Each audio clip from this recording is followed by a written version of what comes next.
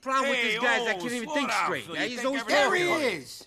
Welcome to the War Council, my boy. Gentlemen, what's going on? Nothing.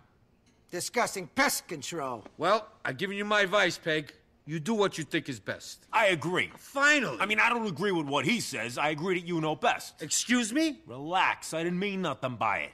Look, either we make the right call or we all end up in prison anyway. Well, your crap ain't gonna do me no favors. Be careful. I'll see you later. Boss, gentlemen. You're only an associate, Phil. Remember that. Yeah, yeah, okay, tough Boss, guy. I gotta tell you this. He's not straight.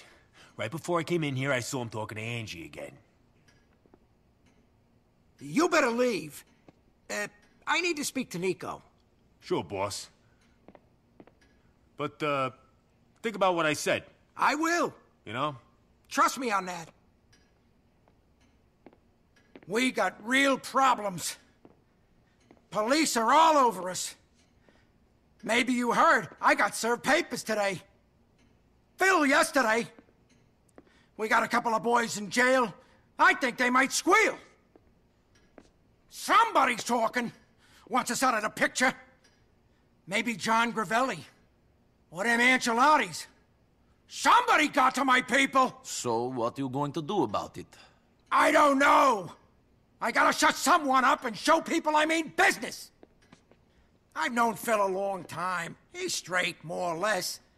I know him and Angie are friends, but that don't worry me too much. Hmm. Maybe he's too straight. Then there's Ray. Hmm. I don't know. I don't trust him. But he's a good earner.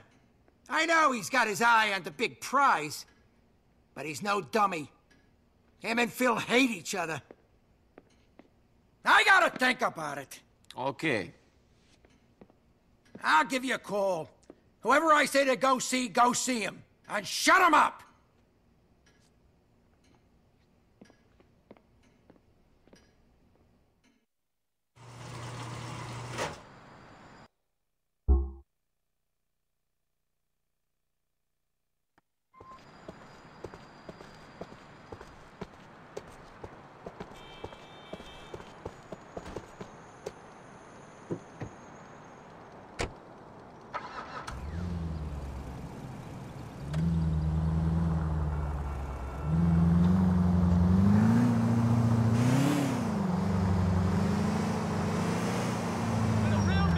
WTF?